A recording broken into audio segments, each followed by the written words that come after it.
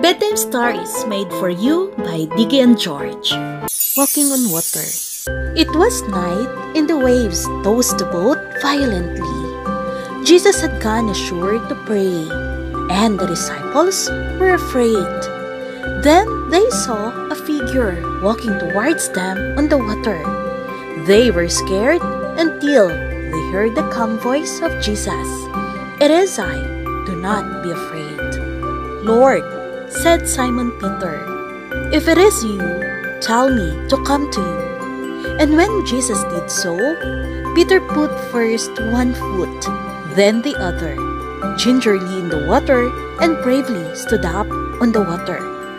But when he looked at the waves, his courage failed him, and he began to sink. Jesus took his hand, and together they walked to the boat.